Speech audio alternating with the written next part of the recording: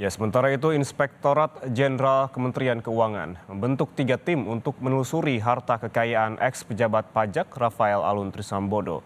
Pembentukan tim dilakukan untuk mempercepat proses pemeriksaan. Tiga tim yang dibentuk yakni tim eksaminasi, pemeriksaan lapangan laporan kekayaan Rafael.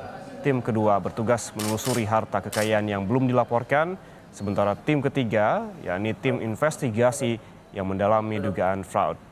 Dalam pelaksanaannya, tim akan bekerja sama dengan KPK dan PPATK.